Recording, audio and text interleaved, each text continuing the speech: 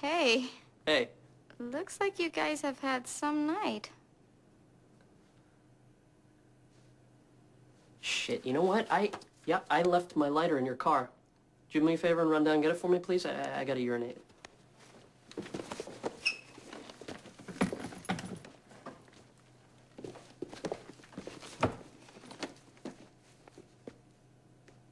Oh.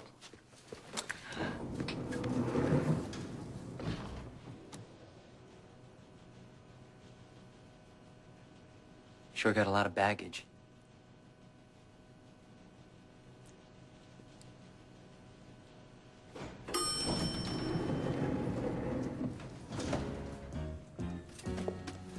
Uh, Maria, wait. Okay, I know this is gonna seem uh, completely out of the blue, and I know you don't know me very well, or, um, at all. But let me tell you what the best part of my day is. In this elevator, with you. I had the craziest night of my life tonight. And I guess I learned that if you want something or someone, you have to go for it. And if Leanne can marry a guy like Freak Show, and I can hang glide, and I can and I can ride a cheetah, then I guess. Oh, fuck it.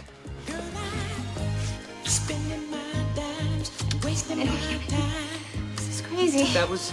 I'm sorry. I didn't even know you. Had White Castle, so I'm a little um, dizzy. We don't ever sleep. We don't talk, and so that was inappropriate.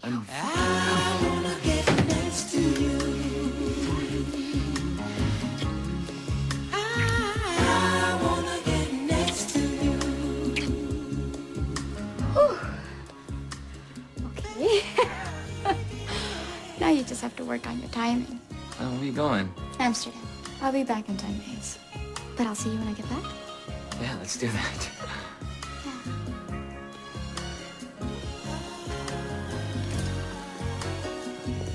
Bye, Harold. Uh, bye, bye. I'll see you later. Should touch your penis? What?